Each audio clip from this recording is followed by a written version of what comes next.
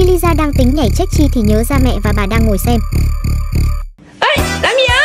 Mẹ biết mẹ buồn đó Tự nhiên cái tôi tỉnh lại liền luôn